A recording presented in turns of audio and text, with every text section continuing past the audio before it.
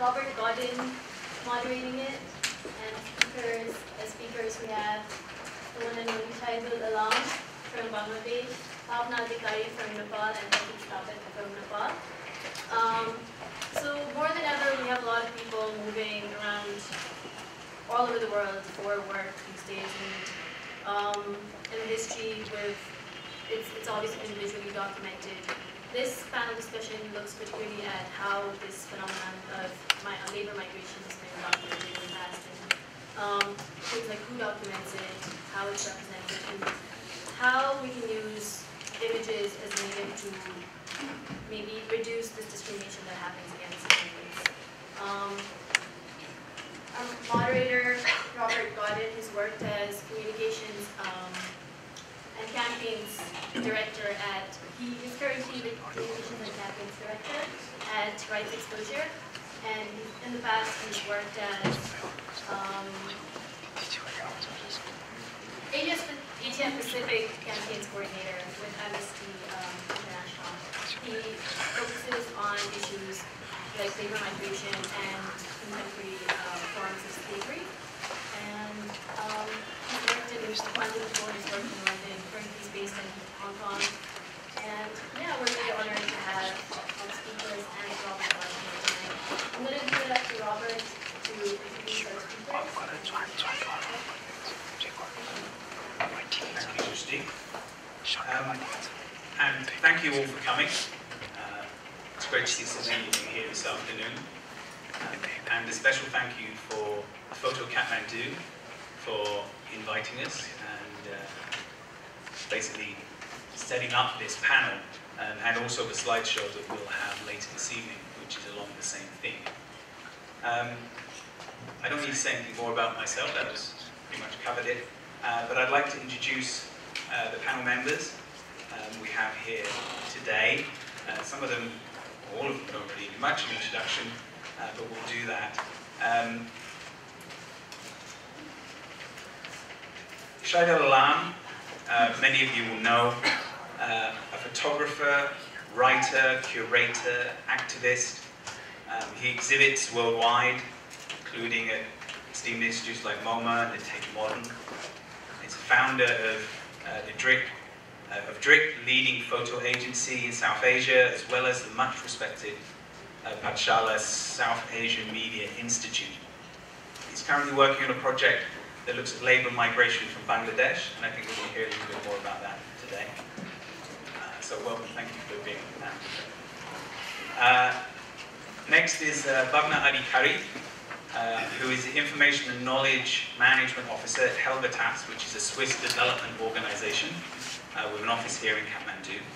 Uh, she is part of the Safe Migration Project, the SAMI project, uh, here in Nepal, and they provide information potential migrants who are thinking of migrating so they can make more informed decisions, uh, as well as support for women whose family members have migrated abroad for work. Thank you uh, for having a big panel. And then at the end, uh, we have uh, Prasiit uh, I pronounce it correct? Uh, uh, Nepali photographer, uh, writer, oh sorry, not writer. Put down, no black to Maybe you are right. No? Okay. Maybe one day. Uh, visual storyteller, uh, based in Kathmandu. Um, in 2016, he was a recipient of the Magnum Emergency Fund uh, grant and has been selected for the World Press Photo Joop Swart Masterclass. Uh, currently working on a project that looks at individuals who disappear without trace whilst working abroad. And again, we're going to hear a little bit more about your work this afternoon, and also that work is included in the slideshow this evening. So if you come along to that, you'll see a great body uh, of that work. Um, before we get into uh, knowing a little bit more about uh, what our panelists are doing uh, in relation to labour migration within the region, I just wanted to put the, the subject matter of this uh, discussion into context um, and to move away from the idea that this is maybe a niche subject uh, that only certain you know, specialized groups are working on. The thing is that labor migration impacts us all.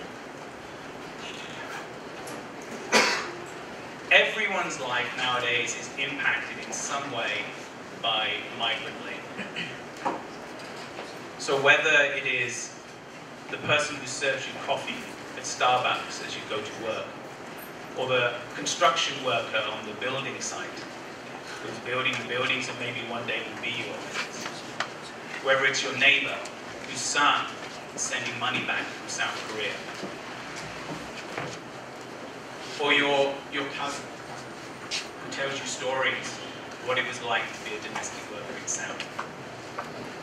So everyone may have some personal lived experience of connection with labor migration.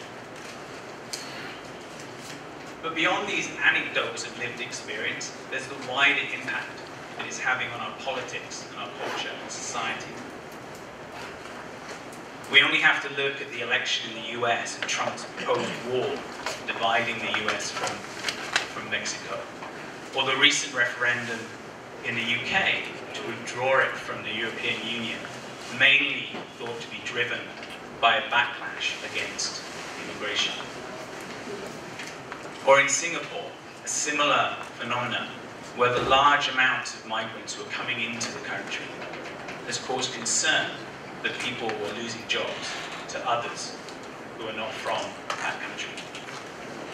Or in Japan, with an aging population, a reluctance to allow foreign workers to come in and do the jobs that are sorely needed where the local population can't, don't want to fill them. And similarly, where I'm uh, I, I, live at the moment in Hong Kong, we see a backlash against the movement of people, mainly asylum seekers, but the, the wider impact that has on other ethnic minority communities within Hong Kong.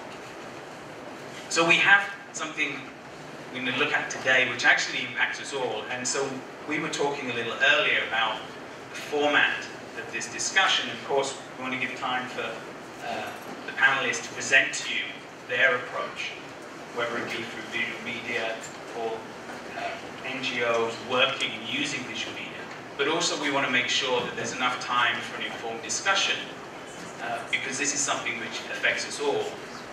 And are we happy to live in a world which is becoming more isolationist, which is putting up barriers to the movement of people, uh, and where intolerance and discrimination in certain areas on the rise? And if we're not happy with that, what can we do? And specifically for us in this photo festival, what is the role of visual storytelling to counter some of this rhetoric which we're hearing? So that, I hope, sort of puts it in a little context. We're going to give uh, some time now for the panelists to present the work they're doing, and then we're going to open it up and hopefully have a, a lively, maybe a little bit controversial uh, debate we want a bit of controversy because we are, you know, I, have worked on labor migration for many years now, and, and, we tend to approach it in a little bit of a dry academic uh, way in the, the, way we do our work. But if you look in the papers at how people talk about it, you hear people like Trump up there talking about uh, migrant workers. This is a controversial, this is a divisive um, uh, issue. So maybe if we can stir things up a little bit with the questions, I think that would uh, lead to a more insightful uh, debate. Anyway, we'll get to that in a little bit. I'm going to hand over to Prasiit first uh, and tell us about his project that he's working on currently, uh, which is about migrant workers who disappear whilst abroad. Okay, you have it.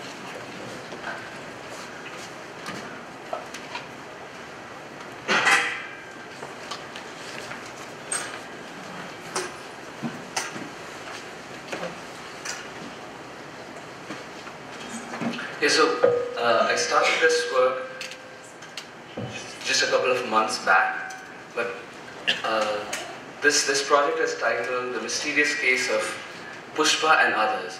This right here is Pushpa Bahadur Thapa. He went to uh, Malaysia 10 years ago and hasn't been in contact for 8 years. So his wife, uh, and he was married for 6 months when he left for Malaysia to work. So his wife is still hoping that he'll come back. But I talked to his friends uh, who had worked with him before, and they say that there are a lot of rumors. Some, some say that he just disappeared and nobody knows where he is.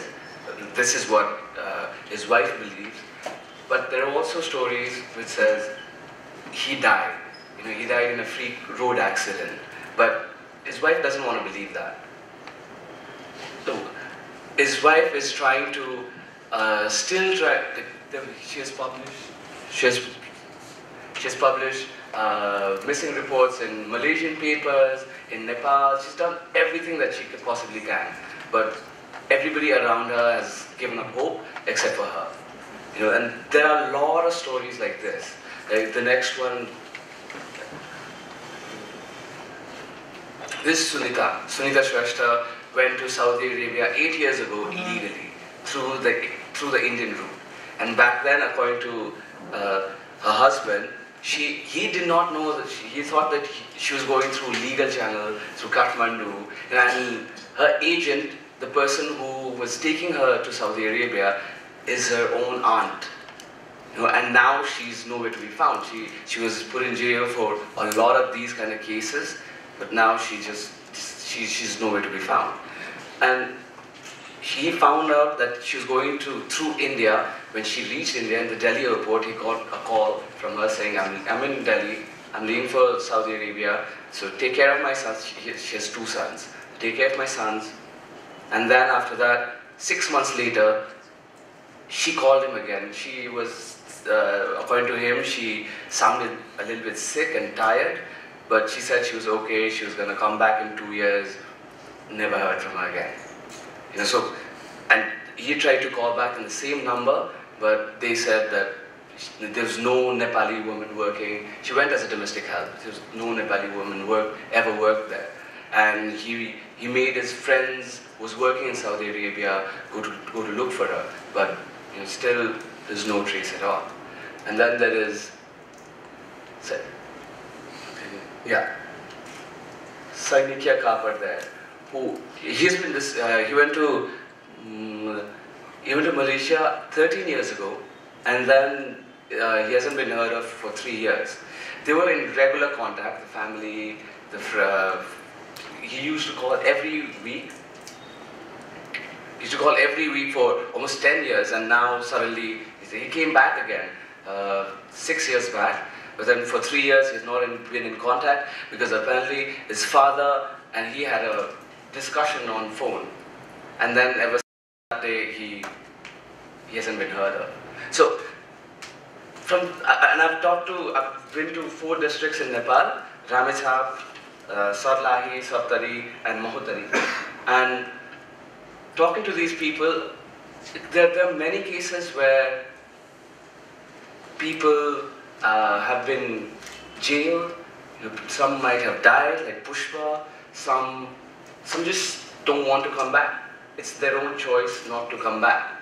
You know, they've, married someone else, or they're in a live-in relationship with someone else, or they just, you know, there's this idea of uh, a very idealistic dream that you'll go to the Gulf countries or Malaysia, bring back a lot of money, and it's, it's a, you know, uh, that dream just collapses once you reach there.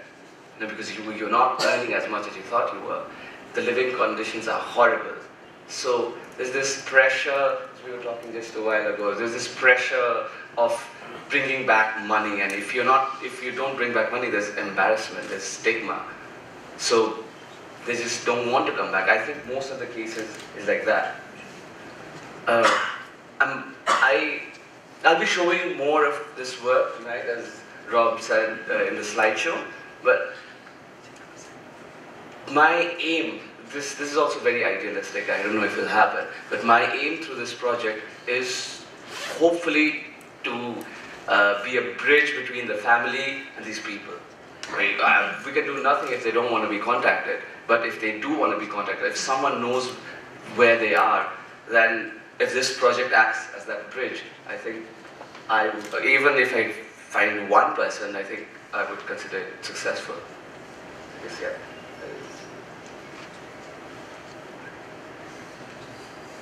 Great, thank you, Prasiit. Um, could we have the lights up a little bit? okay, so, um, we would, we've talked about your work a little bit before you went and, and shot this, and also uh, a small amount afterwards. Uh, and one of the things that we talked about, and with Bhavna as well, is a lot of people don't necessarily want to be found, or they have reasons not to be found. Um, so how would you approach trying to be the, the bridge between the families and the individual who's disappeared, you know, in keeping in mind that their, their preference may be to, to remain a distance from them, and the, what are the risks in using this particular medium, uh, because I assume you wish to actually publish this in public, uh, that you will maybe breach that, uh, that desire to remain. Uh, we had I had to talk with you two and Bhavnaji too before going and shooting this project. Like, and I was very confused. I really I didn't know what to do. If someone wants to be anonymous, you know, if someone does not want to be found, then am I am I then ethically wrong provoking that? You know, it, it's still a dilemma. I don't know if I should be doing this. But then it's also the right of the family to know where their family members are. And that, that is my only answer to that, you know, in, my, in my head. If hopefully they will found, they don't even, most of the people I talk to, if they don't want to come back, they're fine with it. They just want to know if they're okay, if they're alive or dead, where they are. And I, have seen your work and, and, and I like the way you're approaching it. I know it's only in early stages. But my question would be, and this is something we, we discuss a lot in the workshops we do with the photographers we work with, is knowing your objective, your audience, and finding the right medium to communicate with them, and, and the efficiency of that. And I wonder, you know, just to play devil's advocate, whether, no matter how much we may like the work, what's that the sort of the quickest route from, you know, A to B, and being able to put these you know, these families maybe in touch if they wish to be. And, and, of course you approach it that way because you're a photographer, but I wonder if you know there wasn't, wasn't an easy way uh, to, to do it for one of the, uh, the organizations who work with migrants, and particularly who have offices or representatives in the, the countries where they've gone to. There, there is an example of media being the bridge. The, yeah, Sunilji has made videos of missing migrants, and there are examples of people actually being found. So after looking at this video, uh, the, I think she can explain it more, but after looking at these videos, there are people who are contacting them, saying, I know this person, I, he exists. And then they come back, or they contact the family.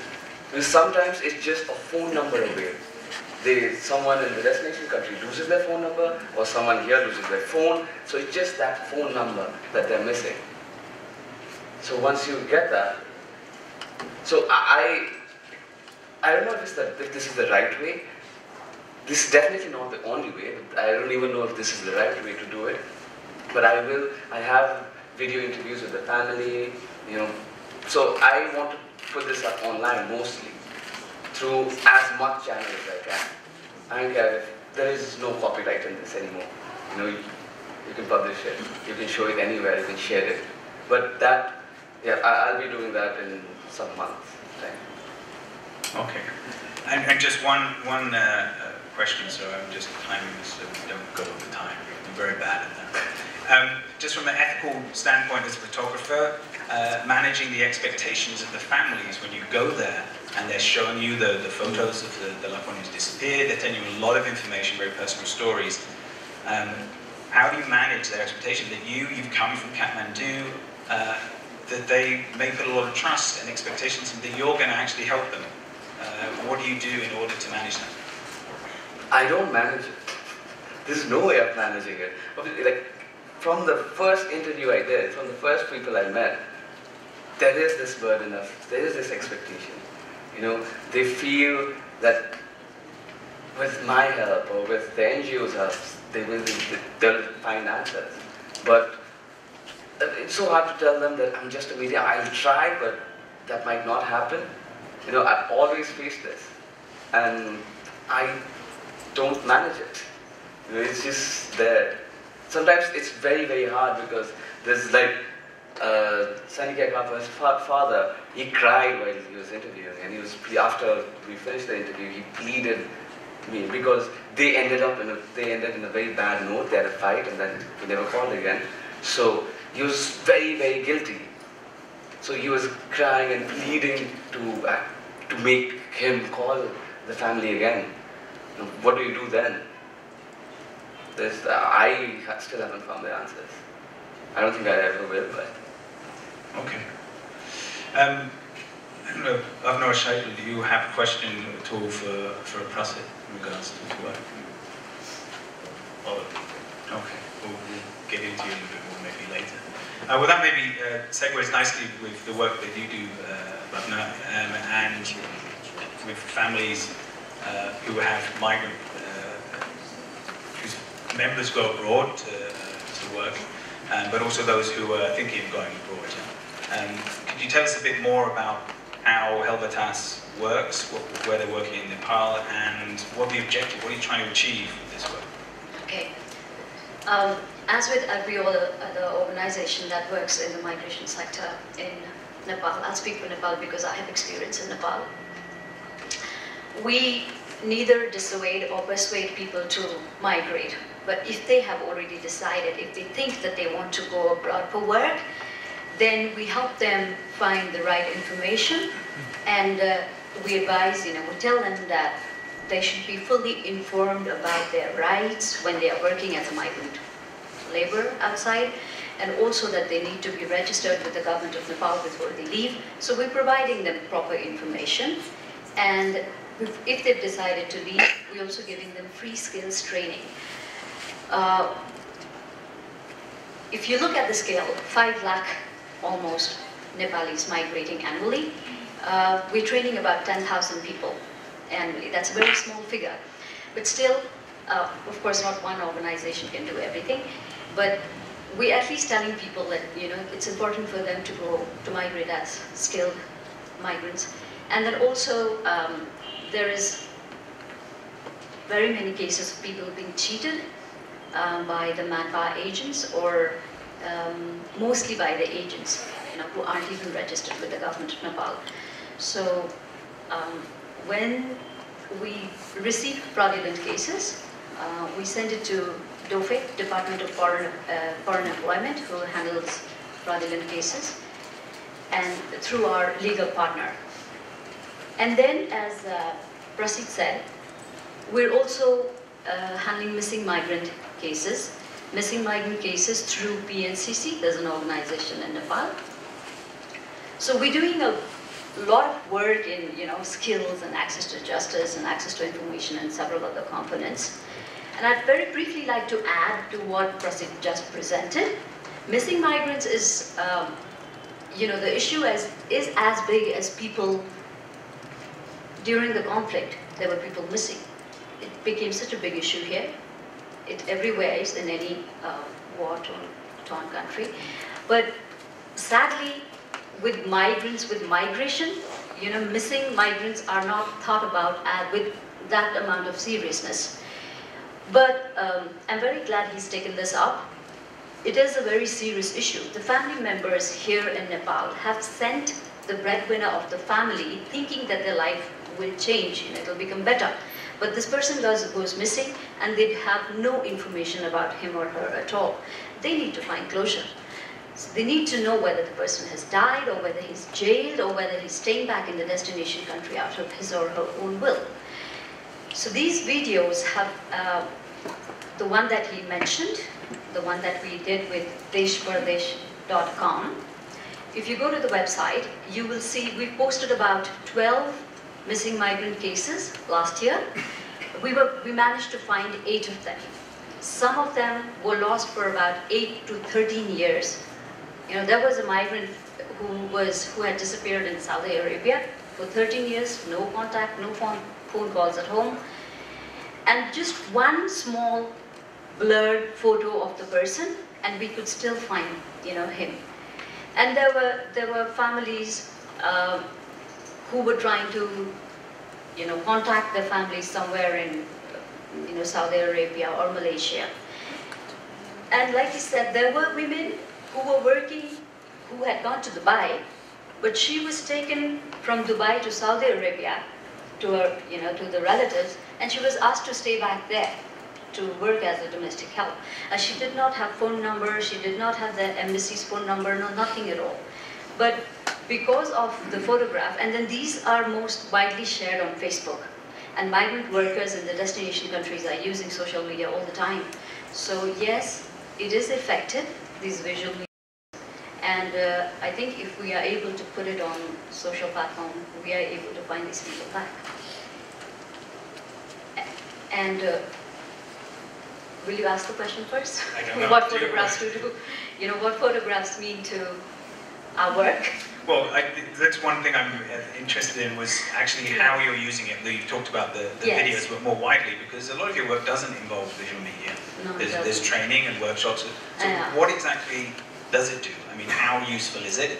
Um, and also, you, you mentioned when we talked before about some of the challenges you face when you're trying to uh, use storytelling in your work, uh, particularly with women. Yes. Uh, I'm kind of interested in that as well. So you can say a little bit about the, the challenges and how you might overcome them, rather than just, you know, this is a problem. This is a problem. It is, um, you know, as uh, you presented as well. We give information to the migrants to make, you know, for them to help, uh, you know, for them to make informed decisions. But most of the time, these people are, you know, lured by the agents or they've already made up their mind that they want to go abroad no matter what.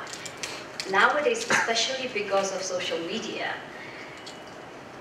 the thing that photographs are doing to, you know, project like ours is that there is person X in Malaysia, a migrant worker, who poses in front of the Petronas Tower or, you know, inside the Suria Mall or, you know, gets itsy photos on Facebook. And then his neighbor in Sarlahi thinks he wants to go to Malaysia because his neighbor has such a wonderful life. But what he doesn't realize is, you know, the exploitation and the hard work and all the turmoils that this person has to go through when he's migrated, when he's come to a new country. That, the photographs don't show that. You know, the photographs only shows the good side of migration, you know, where they're happy, they're smiling and taking pictures. So the people here think that it's all good. So when we try to convince them, when we try to tell them that you need to understand both the positive and the negative aspects of, you know, migrating, they do not want to listen to the negative side of it because they've seen all nice, good photos only. And then the other thing was with women.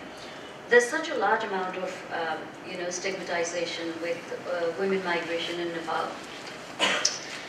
Who, when a woman migrates, you know, it's believed that she's, you know, she's there as a sex worker. Nobody believes that she could be doing anything else.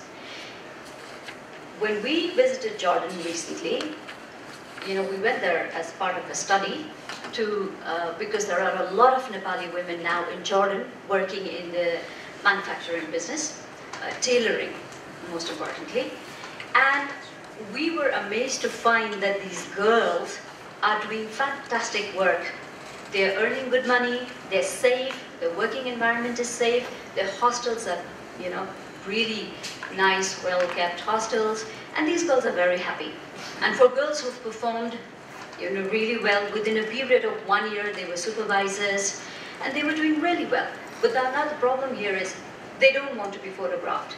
They, they will tell their stories, so we can write case studies out of it, but we're not allowed to give photographs because they're scared. They're still scared that, you know, if somebody in the village or somebody here will see their photo, then they'll still think, oh, because most of the time these girls just inform their families and they go, they don't even tell their neighbors or nobody knows. They say they're coming to Kathmandu for work. They don't say they're going abroad for work because when she returns, she knows what she has to undergo. So we want pictures where, but not necessarily of the men working hard and you know turmoil and everything, but at least pictures that give both the negative and the positive sides of labor migration so that everybody knows and have, you know, they can make informed decisions. And also for the girls to come out and say their positive experiences so that you know, girls here know that if they have to migrate, they don't necessarily have to migrate out to domestic servants, but also, you know, they could be in a skilled labor force. I mean, given uh, the, the role of social media in framing migration and, and the migrants themselves actually taking the photos, and of course, I guess it, it's not specific to people who migrate, uh, migrate. All of us, when we're putting our photos on Facebook, pretty much are putting positive things, and we're not telling people about this like our crappy day so much. But so you have this stream, this like, this wave of positive pictures, as you say, you know, in the nice shopping malls, etc. How do you counter that? Because you, it's not the case that you're actually even able to get the photos that you'd like, showing a more nuanced uh, sort of uh, a picture of migration. You are being outdone by by Facebook and Instagram, where people are just showing you the shiny, glitzy towers of these places they go to. I mean, to be quite frank, you're losing that boy. Uh, not really, because we're making use of, you know, same social media platform to reach out to more people and to inform people about, you know, safe migration as well. So then there will always be people who will post happy pictures and that would be better into, you know, people having proper information. But at the same time, we're using the same social media platform to also inform people that, you know, they could go, they could migrate as, uh, you know, skilled migrant workers where they take proper training and then they know of their rights and, uh, you know, so I, I don't see it as befalling them. Oh. No, I mean, I'm just trying to think in regards to what's what's most attractive to people, and, and if this is a very personal communication where your brother, your cousin, your aunt is abroad, and so you're receiving it in that, that personalized way that Facebook does for a lot of people. Whereas the communications that are coming out of organizations like Helvetas, not to, to, to, to be denigrating in any, in any way, but they kind of tend to be, NGO tend to be rather dry how do you make it that they, that communication, that those images are as appealing and have as much impact on the, the target audience as the pictures where they're standing next to a, a, a Ferrari on the street of Singapore? There is the, you know, there is the constraint where, like I said, because most of the time people are reluctant to have their photos taken. So we have very limited access to, you know, um, good photographs, that, which is why with NGOs and NGOs you mostly see photographs of, you know, people around the table and just discussing and, you know, meetings and stuff. Those come by very easily, but especially in the migration sector because people want to maintain their privacy and they do not want to be known as somebody who's migrated because there's also the fear that they might come back not successful. There is the challenge of getting good photographs when it comes to labor migration. But um, yeah, we try nevertheless. It's okay for somebody to post a picture in front of the Petronas Tower or to post a picture, you know, beside a Ferrari because I'm sure they've earned that. But what my point is only that we should, and then we don't know how, we don't want to again sell negative images and frighten people to not go abroad. You know, because like I said, we are neither persuading them or we are, we are dissuading them either. But just the challenge is also, you know, the challenge is to find the balance between people having proper information when they, you know, see all these good pictures. But, yeah. It also sounds that you, you suffer from a, a problem that many NGOs do, which is the having creative photographers come in and help you actually. Um, Mostly with migration, I'd say. Mostly with labor migration, you know, because, you know, I would put up a picture there, you know, a mother and a daughter going to school, and then there's a lady in the Tarai who's selling Talmudi, or, you know, there could be several pictures, which is, like you said, it's woven with migration. But if we are to show these pictures and just, you know, take public opinion, then they would instantly, you know, connect it with maybe child education or, or you know, women empowerment or something. But nobody thinks of it as migration. So that's also the challenge, you know. For us, having good photographs is also, it should come with a good caption. Otherwise, my, you don't know what a migration photo is, labor migration photo is, apart from the ones, you know, people are lined up outside TIA or people inside uh, the, you know, labor office trying to get their permits. Apart from these specific photos, it's very difficult to say what a labor migration photo is. So that's also the challenge we, you know, especially with labor migration, it's very difficult to say.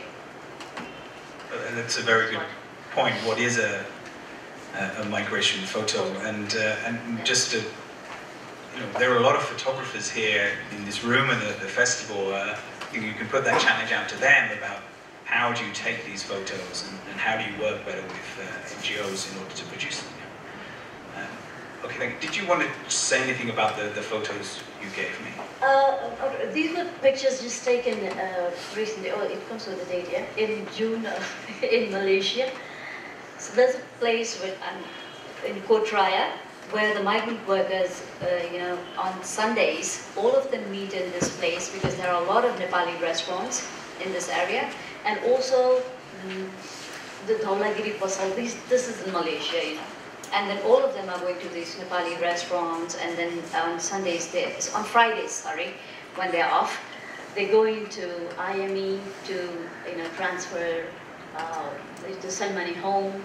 And then we met with these uh, migrant workers uh, when we were there. And then the previous photos were the hostel photos. So which is, you know, which is what I'm, which is what I was trying to tell you in my presentation prior to this. Much earlier, I think.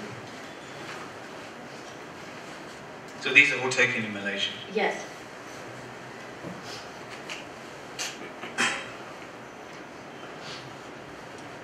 So this is a picture of the hostel where the boys are living. And, you know, this is, yeah, that's the kitchen. And that's the, you know, so you, you see what it's like, the life? This is what I'm trying to say. It's not only about posing in front of the Petronas yet. So we want to get, you know, all kind of images to tell people that maybe on Fridays you'll get a day off and you'll have a fantastic life, but this is where you'll be living and this is what you'll be doing. Are you prepared for that? Are you ready for this? And then you should migrate. That's what we're trying to say.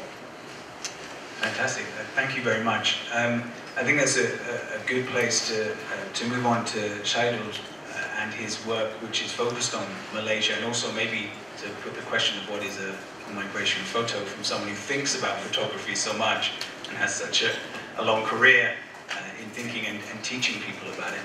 Um, would you like me to, uh, to put the... Yeah. Okay, let's do that. Thanks. Uh, while that's happening, maybe I should provide a little bit of context. Um, will we going to do it as a Q&A or do you just want? I think you go through what you have, and then I'll, uh, I'll, I'll interject Okay. maybe later. Uh, I'll, I'll give a little bit of context. Let's not have everything up there.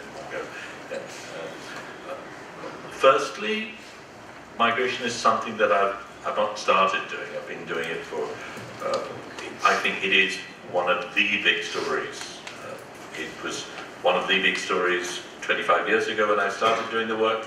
It's one of the big stories now for various reasons. I, I've worked in pretty much, um, you know, all the way from the tiger countries, Singapore, Malaysia, obviously Bangladesh, India, Sri Lanka, uh, the Middle East, Europe, to North America. Uh, but um, I found the representation of migration fairly shallow, at least in my analysis. Uh, there were very good photographers doing very good stories, but they were only looking at one aspect and the physicality of movement, the situation workers find themselves in, a very important part of the story, but certainly not the complete story.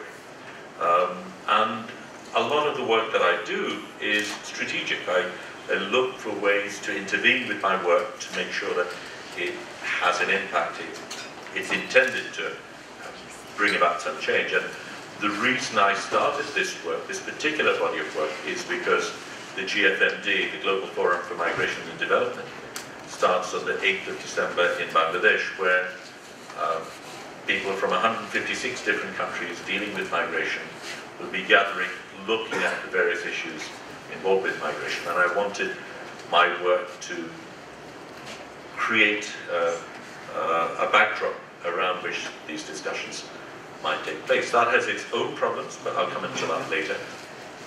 So one of the things I decided to do was that I would look at this very layered, complex story at all those levels. Uh, I mean, in a way, uh, it's like the blind man seeing the elephant.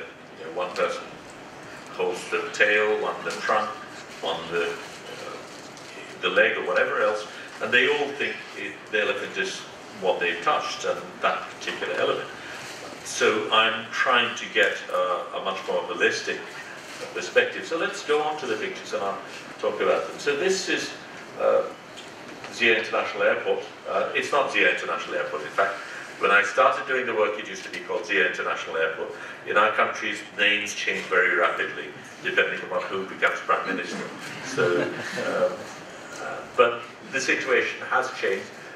I'm not showing you the early work where you had people praying outside the airport because migrants often come from villages. Sometimes they've come to the city for the first time. The whole family comes over, they're outside, they're praying. Uh, only one person goes inside and it carries on through here. They're separated. Some are leaving, some are coming back. So it's a complex range of emotions. Let's go on. I use these two pictures to bookend my story, both in terms of perspective and also in terms of reality. The top picture are migrants leaving Bangladesh, um, and I was on the trip with a guy called Mamun. Uh, and the bottom picture is the mass graves in Perlis, uh, in the Thai-Malaysian border. Uh, these are not the original graves. The, the, the bodies have been exhumed and reburied. Uh, all you have are the names of these people. So you have these two extremes, the people leaving with great hope and expectations and what some people find themselves in. I started, uh, even the migration, uh, Malaysia story, I started uh, before the big story about people crossing in the sea broke. I actually uh, went to Teknaf, where you have Rohingyas coming into Bangladesh, using Bangladesh as a transit point going on to Thailand and then Malaysia.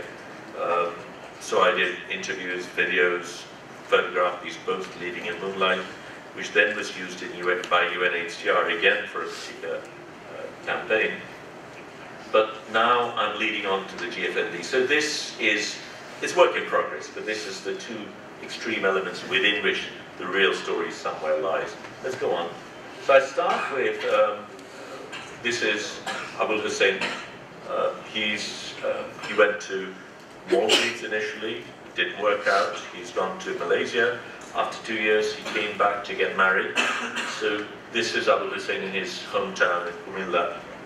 Pictures of him with his family, with his uh, you know, what he's left behind, and that is also part of what I'm trying to do. I'm trying to humanize the story because in a lot of the cases, migrants are seen in terms of what they do. We, we tend to forget that they are everyday people like you and me with exactly the same aspirations. And one of the problems I have is that in middle class homes, we accept social mobility as a gift. We try and better ourselves, we get better jobs, we get our children to study, and we, we hope to go up the social ladder. Yet that very mobility is something we deny migrants. And in countries like ours, a poor person will very probably die the same way as they were born. And migration offers one of the few opportunities where people can dramatically change their lives. And that is a very powerful idea with all sorts of consequences, but it is something which uh, we don't engage with. And then particularly in the discussions where people say, well, they're not refugees, they're, they're economic migrants. Of course they're economic migrants, like all of us are, in terms of what we try and do. Yet economic migration is seen as something that must not be allowed to certain people. Um, so I, I, want to deal with that. Then, of course, there is the question of terminology.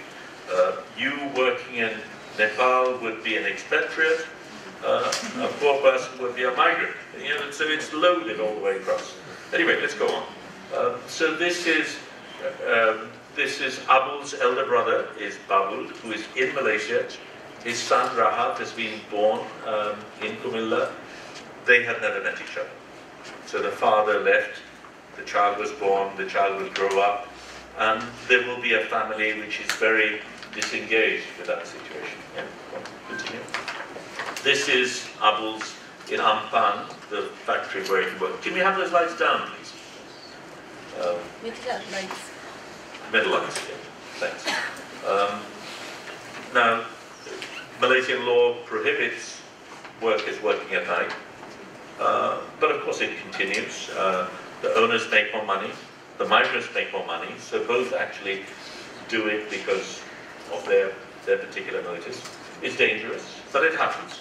Yeah. Uh, this is Abdul Halim, uh, the Dalal, this is the manpower agent, who took uh, Abul Hussein to the Maldives. Abu came back from there. He then found another Dalal. This one hadn't worked so well. Uh, and I've got another story of that. But you know, the Dalal does reasonably well out of this. And these are the people who really do best out of this entire industry. Yeah. But what I've done is I've tried to, as I've, uh, I've interviewed the Dalals, this is um, Dada Agarwal, one of the big employers. He, he owns the Bharat Tea Estate in Cameron Highlands. So I, I photographed them, I photographed policymakers, uh, well-to-do migrants, super well-to-do migrants, uh, human rights workers. So I've tried to look at the story from all the different perspectives because the story is a combination of all those perspectives. The migration is many things to many people, and I think we need to understand that.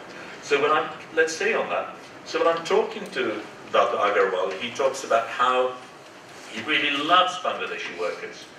Um, and he says, well, they work hard, they work long hours, they don't drink, they don't argue, they, they'll do what you say. Essentially what he's saying is they're easy to exploit.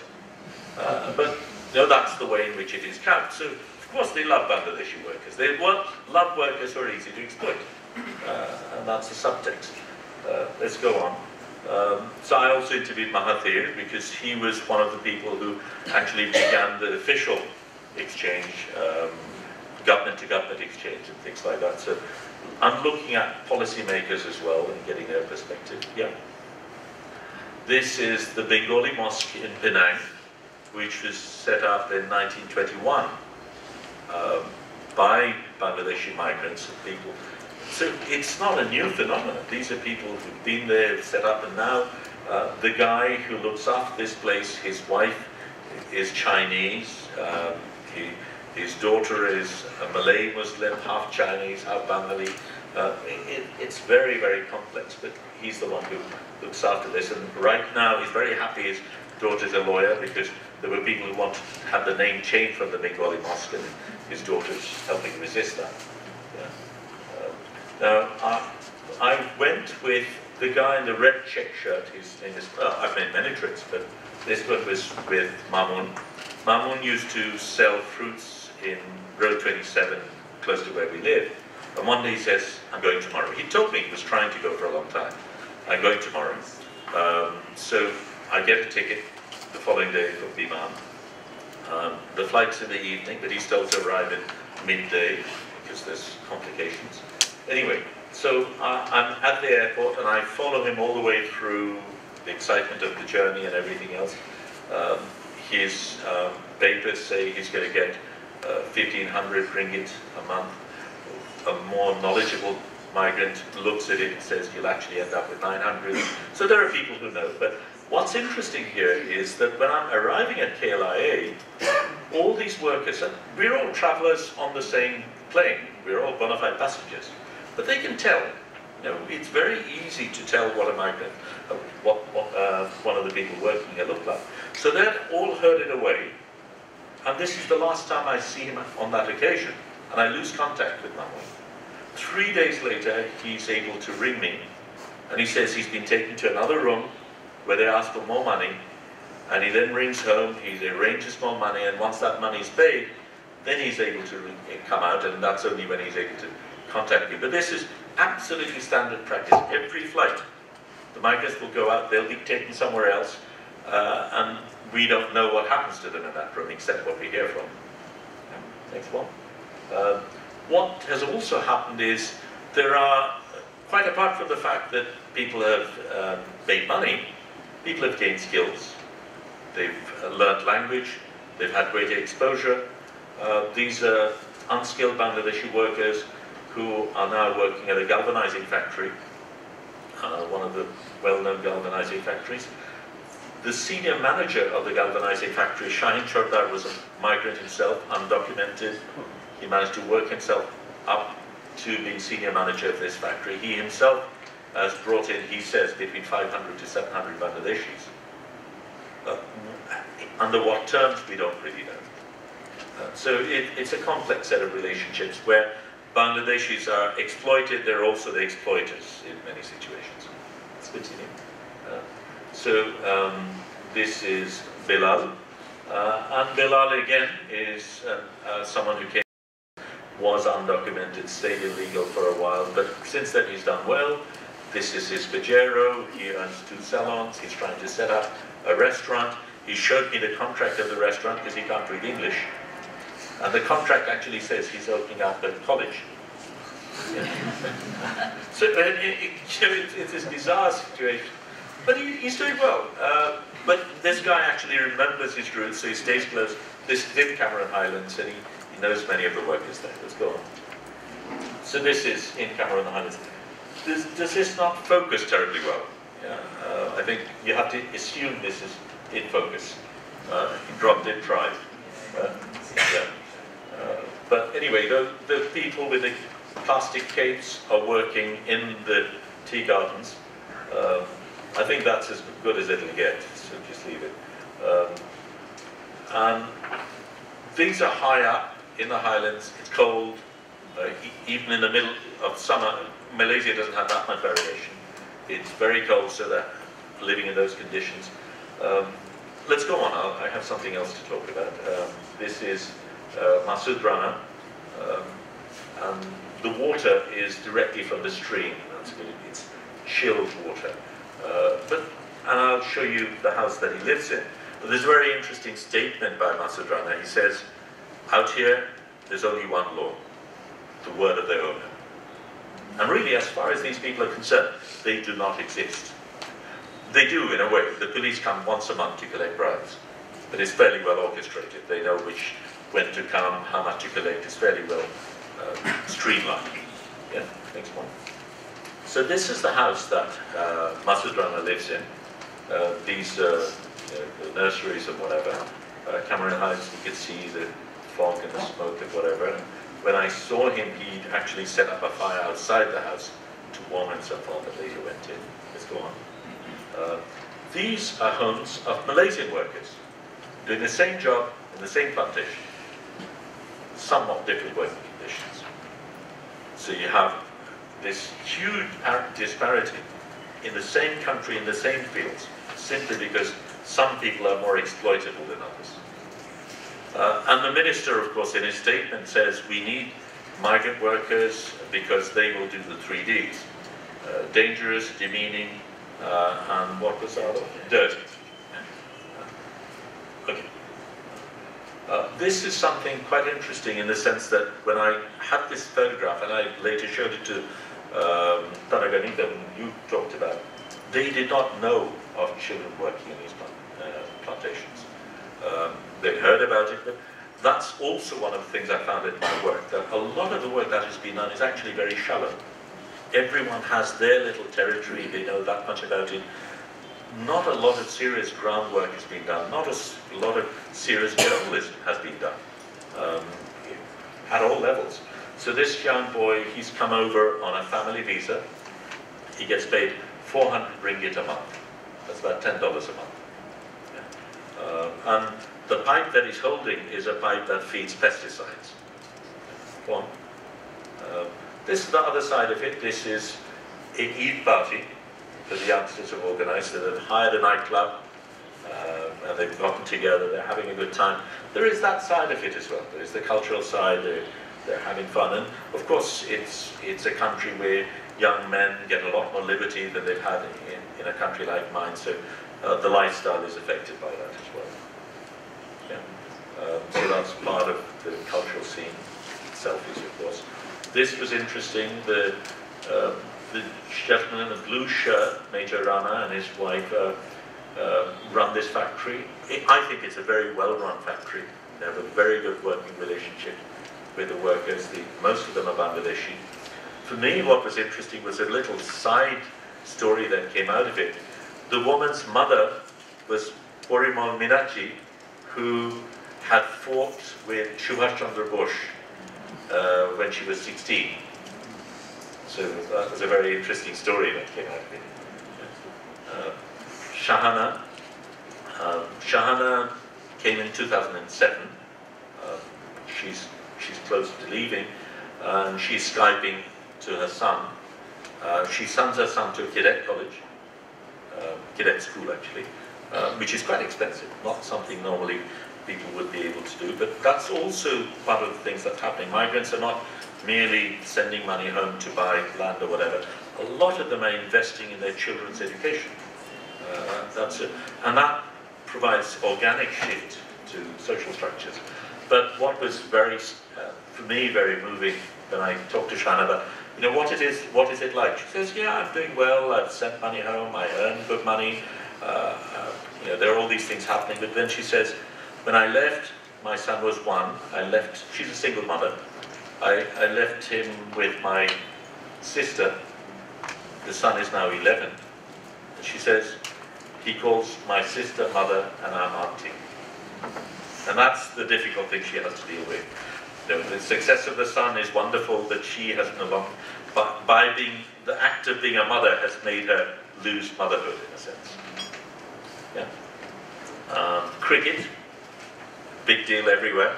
So um, this, of course, they do have television in their homes sometimes, but collectively watching a game is also interesting. But this I'll compare with another television watching, probably in the next image. Let's go on. Yeah. So this is Datasuri Hanif. He's the super manpower agent. Yeah. Um, outside his house were nine cars, Mercs, BMWs. He owns a, it's a multinational company. He started off with Bangladeshi migrants. Now he, he handles migrants from all over. He's setting up office in Nigeria now. Uh, he, one of the directors of his company is uh, the son of the minister. That helps. So there are all those sort of things uh, going on. But this is Dr. Hanif, Suri Hanif in his home. Uh, he has a Malaysian wife. Many of the well-to-do have Malaysian wives, not merely because they fall in love, but also because it's convenient. It allows them to do business. She is the managing director of the company. You need a Bhumiputra to be able to run a company. So there are many equations, yeah.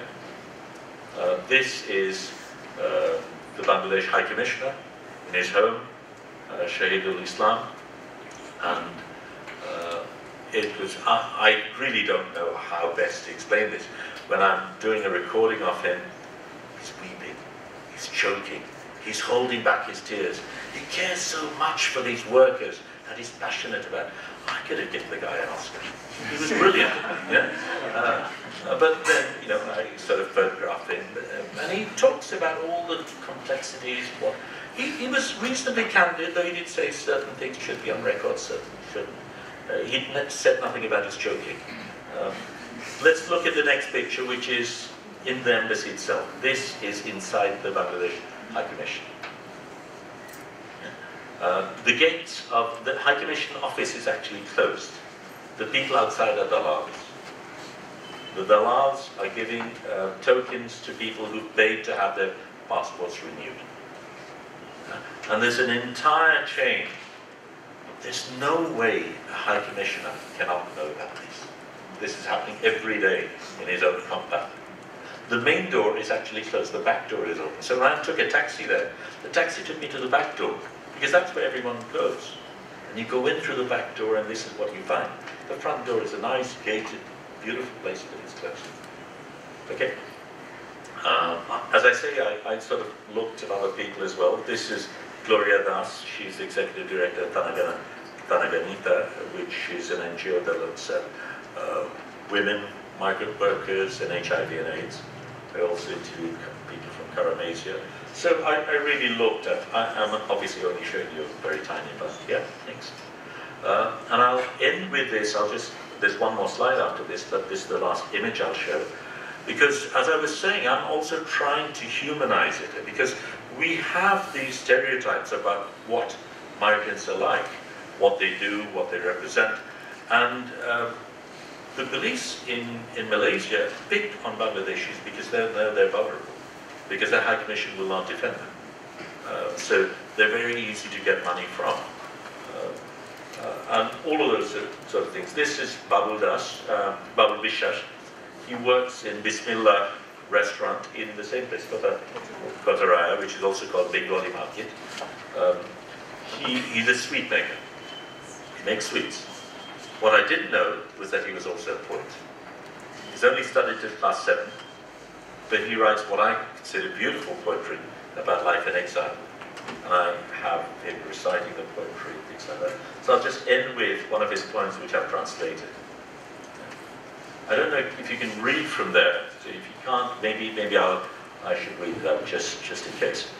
Weary my feet, heavy steps with toil, forlorn for far shores, lonely and in foil.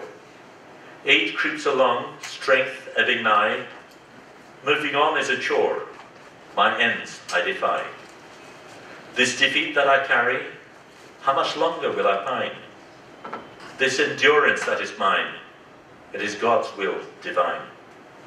Faces familiar, now so far away. Home, forgotten. Leafy boughs no longer sway. The heart says enough, this exile must end. The home that awaits you, misery will mend. My lover awaits me, my footsteps she finds. To you I'll return. This land will never be mine. I'll end with that. Uh, thank you very much. If we could have the lights up, please. Um, I, I have many questions to ask you about this project, but I'm aware, time-wise, we need to uh, give the audience uh, a chance to also ask you questions. So I'm just going to pose one to you, which is, uh, you mentioned a couple of times about humanizing uh, these people. And who are you humanizing them to? Who is the audience for this? And my supplementary questions linked to that is, do you think that photography can bridge that gap?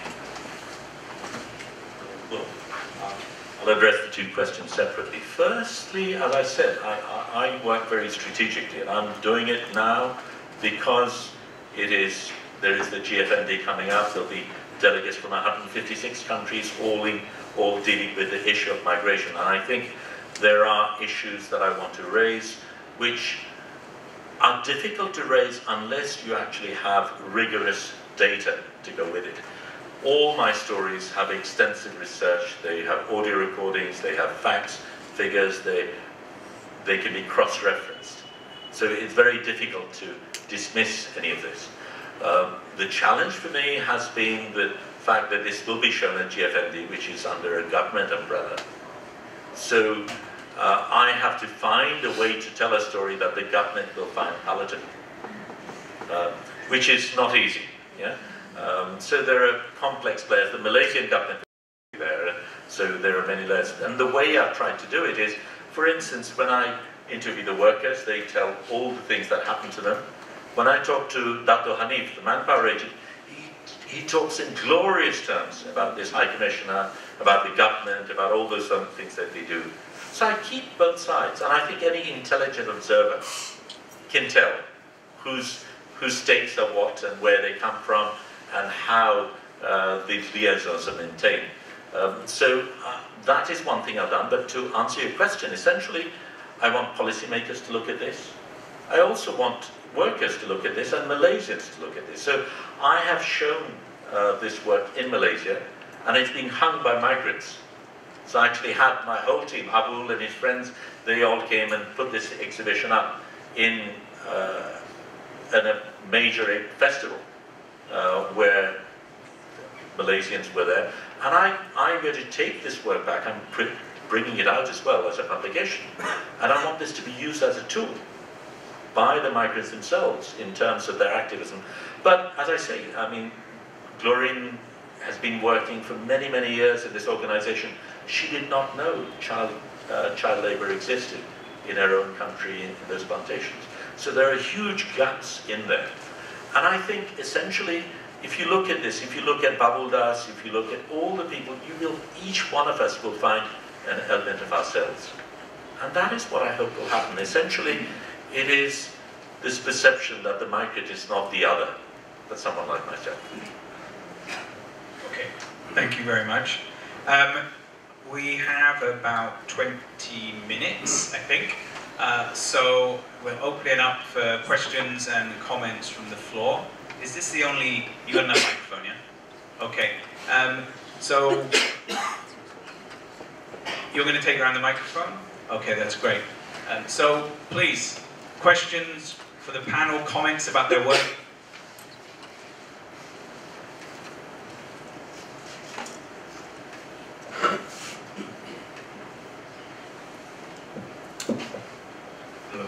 Salam alaikum. Uh, hi. Uh, well, thank you for putting that point across. We all are migrants in a way.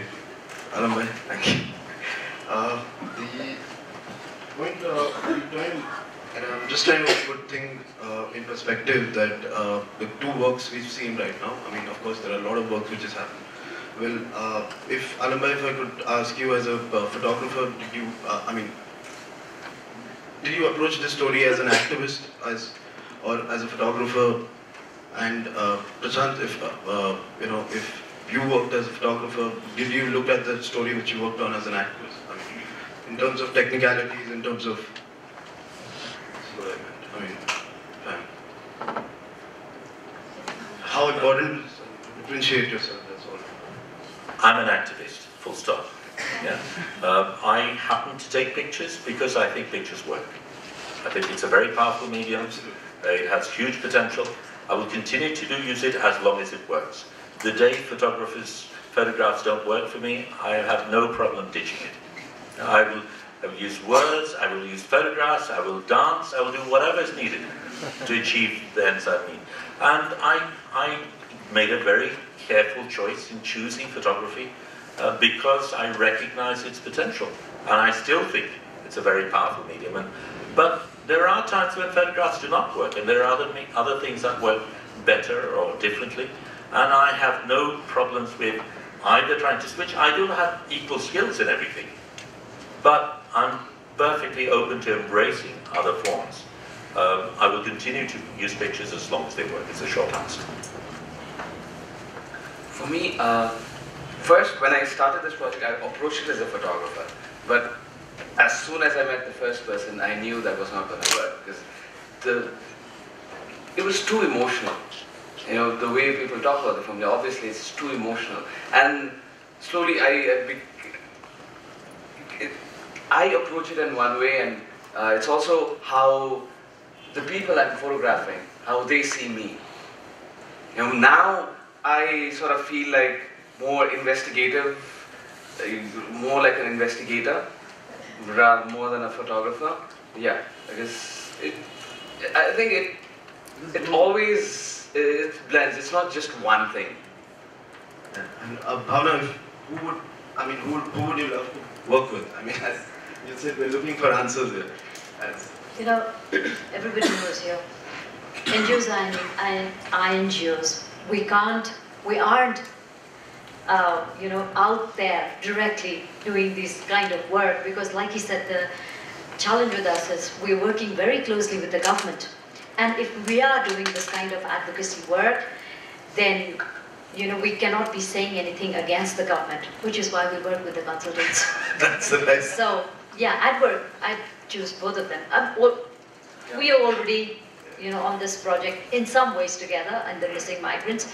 But I'd also like to thank you very much for, you know, doing this work because a lot of people are going to GFMD from Nepal this year and I don't think any of us have this kind of preparation. I really wish that Nepal also had, uh, you know, something to show at GFMD. I'm sure there'll be other issues that we'll be raising, but uh, like he asked, how did you have access to all these people? Because it was very difficult for me to, you know, talk to anybody to get, even if we had good contacts in Malaysia, this hostel pictures that I took, I was asked to get in and out of there in five minutes. You know, or else anybody could come, the police could come and arrest me. So you took pictures of Mahathir, you took pictures inside a company. How did you do that? It's very difficult, I'm sure, you know, with migrants. Um, I think taking pictures is a very tiny part of the photographic process. Not just access, dealing with people. I mean, the entire, at least the type of photography we're talking about, fine art, conceptual photography might well be different, but documentary photography largely has to do with negotiating spaces, dealing with people, making them comfortable, making them relax, and understanding the human fabric. Um, you know, you're talking of this, uh, one of the places where I had most difficult access, uh, theoretically, was uh, there was a time when I thought we have all these white Western photographers, not just photographers, we had sociologists, uh, anthropologists, photographers, researchers coming to our countries for centuries. You know, they've done research on us, they've categorized us, indexed us, measured the length of our penis, the width of our cranium, put us in boxes. You know, we, we've been labeled in so many ways. And I thought, well, maybe we should turn this thing around. So I started doing a story on the white tribes of Britain. Um, and as part of that, I, I decided I would photograph the aristocracy of Britain because they had such a big influence on colonialism and all the things that have happened. My politics is known. I presented my work uh, the best way I could. And on that basis, one would assume that all those doors would have been closed because I was being transparent about what I do. But one can play on things, and one of the things one can play on is vanity. And people like to believe what they want to believe. So even when you tell them that, they, they like Dato Hanif, he was convinced I was in love with him. You know, uh, here was this guy who had achieved so much, and I wanted to photograph him. So he, he took me home, he fed me, he drove me back to my hotel, he looked after me, and everything else. And at each level, you, you find something. I wasn't lying at any stage, but I let them believe what they wanted to believe. Thank you. Um, other questions? Here.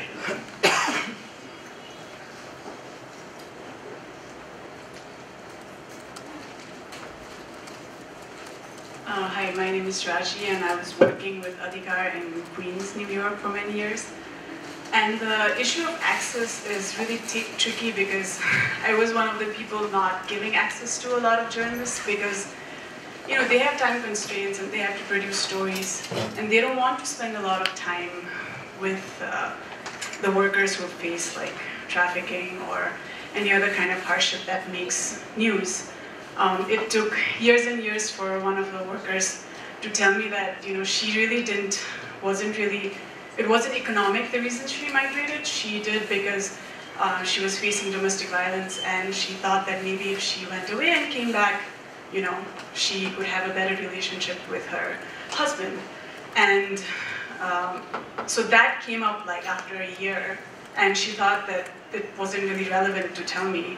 And right now, you know, a lot of us are talking about intersectionality and, you know, these intersections of why people migrate, there's so many different reasons. And often stories come up and then, you know, maybe the organization's names are mentioned and we might get funding, but then often asking people to tell their stories also opens up trauma for them, you know. So we're really, it's really difficult to find journalists and lawyers because I also work with lawyers who are willing to spend that time to have that, create that relationship with the worker. And so I guess a question and a concern, like with training um, journalists, um, yourself being trained to work in these situations where uh, we're not actually making people's lives worse, you know, even if they get uh, compensation. I mean, it's going through years and years of storytelling of trauma. So you know, just a concern and a question around that.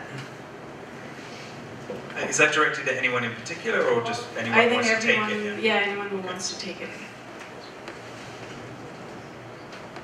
Um, you know, I, I cannot say I cannot say anything for the lawyers, but I'm working with journalists all the time. So, and I used to be a journalist once upon a time. So I know that journalists are under constant time pressure, especially in Nepal. Apart from you know a few weekly magazines like maybe Nepali Times or here and there, most of them are working in dailies where, have, where they have time constraints. So they want to do stories that you know can they can get over with within an hour or something.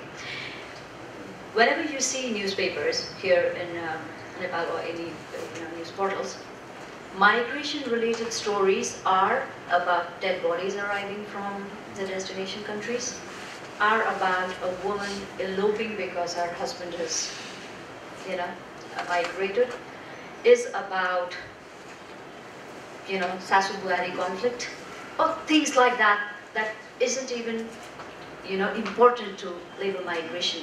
The real issues, nobody's talking about it. I think one of you briefly said earlier too that, you know, journalism really, we need very serious journalism now. Labor migration, migration issues is becoming bigger and, you know, it's global now, especially after the European thing. Now it's, you know, everybody's paying attention to this.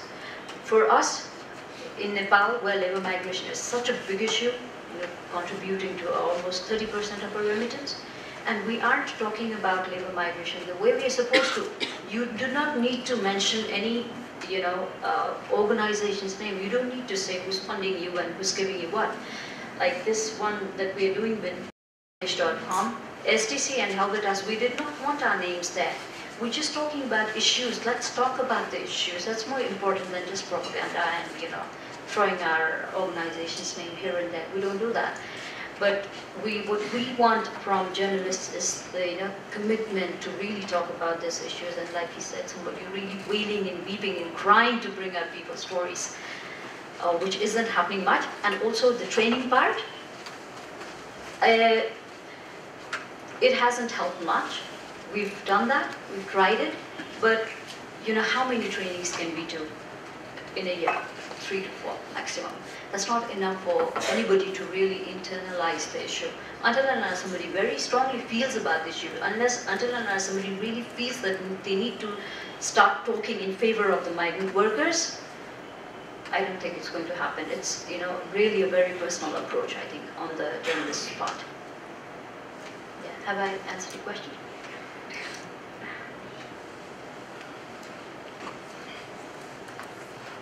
Mm, Does our advocacy of documentary photographs has been uh, what is it affected to the issue we are talking about? Uh, again, is that aimed at anyone in particular or you, anyone who wants to take that? Okay, wants to deal with it? Or maybe Said um, Alam Bhai, is, is any of your work has particularly advocate, um, given a positive advocacy to any particular cases? Uh, I'll answer. really Uh. I, I'll uh, answer in two two ways because you know um, we, we look, we try and think our pictures bring about dramatic change, we change the world and all that sort of thing. But Of course, it, it doesn't always happen, but I think change can be seen in many levels. Sure, those are things. I think one needs to change oneself as well, and that is as valid a process of change as anything else. We as human beings need that transformation, and I think through this work that's one of the things that that can happen. And uh, I'll, I'll use a completely different example, not even related to photography, because I think many of the things we talk about are not really about photography or journalism. It is about being human beings. It is, it is, and one of the issues she was saying how many people can train. One of the reasons we have this problem is because our education system doesn't take on board the very tools that we need as human beings to become A, the storytellers, the visual people, the writers, or whatever else. Uh, we have a very dry, narrow, rigid education system which teaches us to pass exams and very little else. So th- that change has to happen there. But I'll give you a, a completely different uh, perspective. Um, along, I've been teaching working class children to do photography for many years.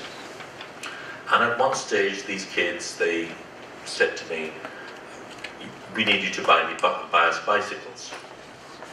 Well, I, I like bicycles. I know as a kid I've always wanted a bicycle, so I could understand why they wanted it. But they went further. They gave a rationale. You know, they said, look, you spend so much money every day for us to come to Drik. Uh, we come and we go. Uh, if you bought us bicycles over so many months, we would recover the costs and you would save money. So they gave me a rationale. Now, anyone who's been to Dhaka knows what Dhaka streets are like. So to let these kids loose on a bicycle in the streets of Dhaka was not something I was going to do, at least not without their parents' permission. So I said, look, fine, we'll look at it. Two things. The bikes were going to cost about 30,000 taka. They would have to pay the first 500. Yeah, it would be their bikes. They would be responsible. But they needed permission from their parents. Now, sometime before that, we had been talked about, talking about what we could do. And the thing that we'd been doing together had really been transformative for these kids. They, they had blossomed in a beautiful way. But we're not an NGO that deals with thousands of people. We're not a Grameen or a BRAC or anything like that. This is all we could do. 10, 11 kids were all we could work with, and they were part of their family. So they came up with a very interesting idea that they would teach their parents to read and write. Yeah? And that was very interesting. It, a, it did something very useful, teach their parents to read and write, but also it shaped their role in terms of the family dynamics, in terms of what they were becoming. So two days later, a young boy called Iqbal, he now is, runs a media company in Italy. Iqbal comes back with a torn piece of note, piece of paper from his notebook. It's scrawly writing, his mother had written, yes, you have my permission. Iqbal can have his bicycle.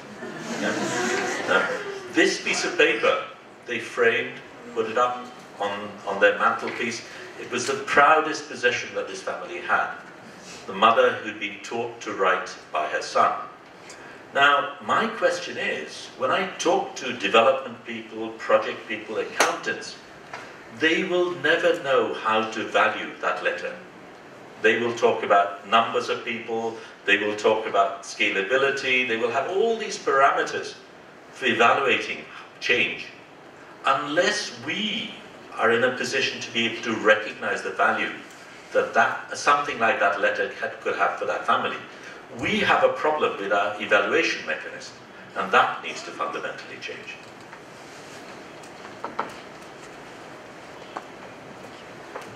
Hi, uh, my question is for Ms. Adhikari, but uh, before I ask you, I want to share something with you, and then I'll ask you my question. Uh, it's interesting that Shahidul sir uh, mentioned uh, Bharat Estate. I was at Bharat Estate um, in Cameron Highlands last year, and I spoke to, I think most of the migrant workers over there working there, they were either from Nepal or from Bangladesh. And firstly, the difference, I, I mean, the Bangladeshis, I wouldn't say they were happy or content, but they were not complaining about them being there. But all the Nepalese workers, they, I think most of them told me that they felt like they were jailed. Uh, they told me they felt cheated. I don't know how the dynamics of the migration agents work in Bangladesh, but uh, I did learn a lot about how it work, work in Nepal. And uh, their contracts, I saw some of them, I actually probably have pictures of some of them, and uh, they told me that if, they were in English, so they were um, not given correct information as to what was in their contract. Some had three years, some had five years, and um, they were told that they would earn certain amount of money, but they told me the maximum they were earning in a month was up to 28,000 Nepalese rupees.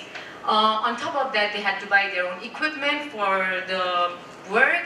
If they got hurt, which was happening often, they, there was no uh, medical provided, so they had to pay for their own medi- uh, medical, and which was very expensive in Malaysia. And none of this was told to them at the, uh, in, at the time. And also, they have to pay up to two to three lakhs before they actually get the job. So, the, and another thing coincidentally was that that day was um, 25th April 2015, which was the day of the earthquake. And I was uh, there, I think just an hour or two after I saw the news. And all these people, of course, they had got the news and they were not even sure because of their contract, they couldn't go home. So they were, and a lot of them were from Gorkha. So they weren't even sure if they could go back to their family. They weren't sure if their house was still standing. And my question is that does any government body or an organization help translate the correct information in the contract to these people or like inform them against these um, migration agents if they are cheating them because every single Nepalese over there, they really did not want to be there at the time. So is there any anything that, that's done for this? Um, you know, let me start with what I started with in the beginning. This is the reason why we are giving out information to the people, you know, at the district levels. We work in 19 districts.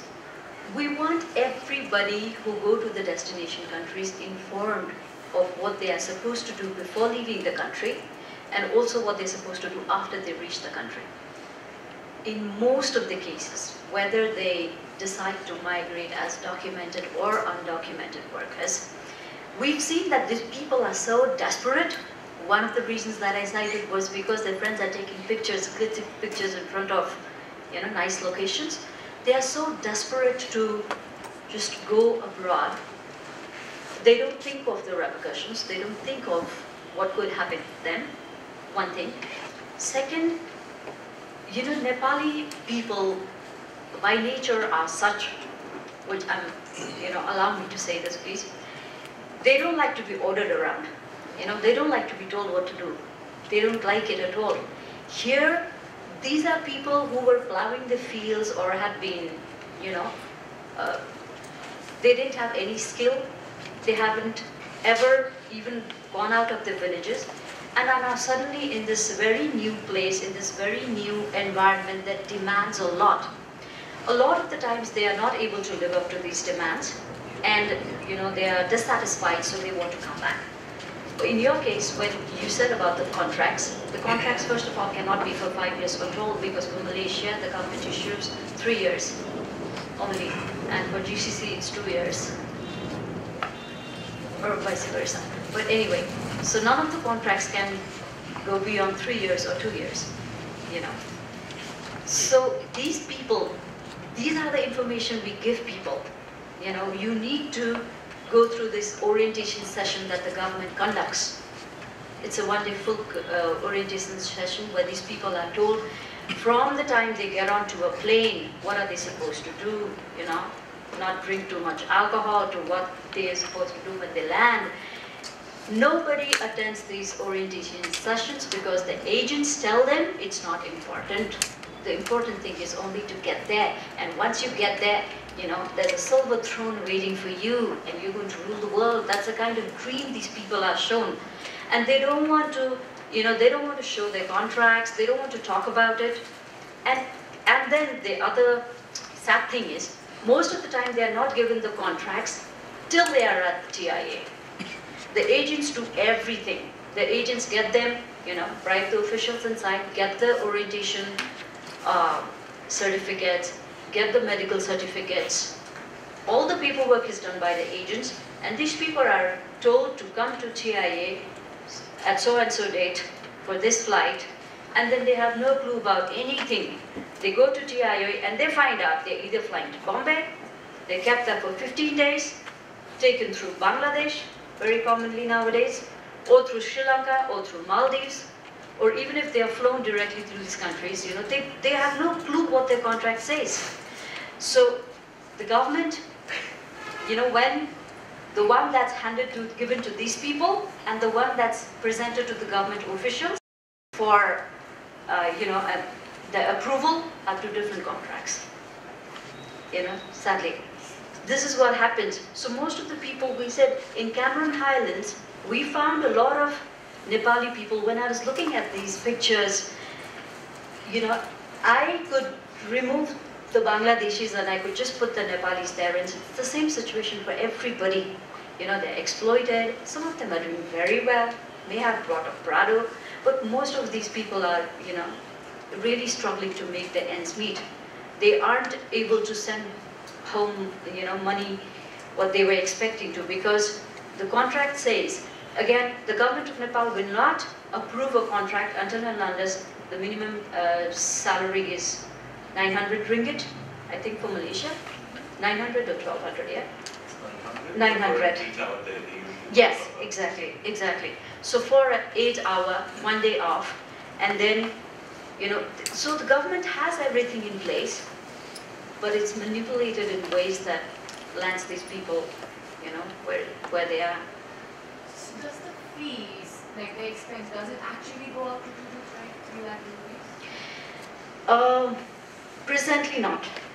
After the government introduced the minimum cost migration and the free visa, free ticket thing, as from last year, uh, from June, since the government introduced this, there was wide opposition from the recruitment agents, from recruitment agencies in Nepal. They even, you know, shut down their offices and there was a dharna in front of the Tope and there was all this drama about free visa, free ticket and minimum cost migration, which the government has prescribed at 10,000 rupees now.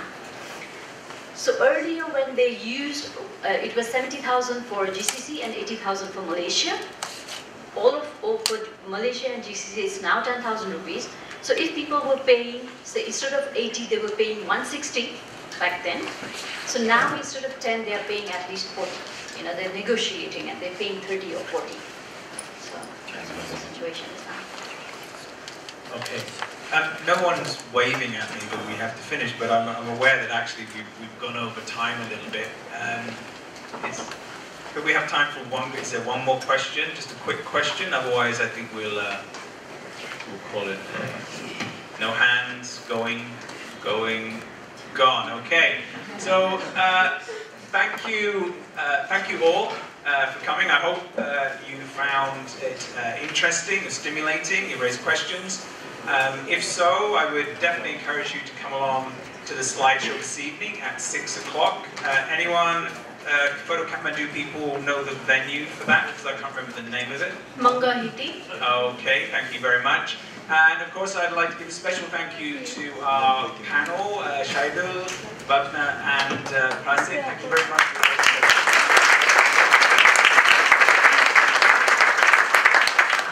One last request, if for the Nepali journalists on the floor, I'm sure a lot of you are here, please let's start doing very serious stories. And I'm ready to pitch stories.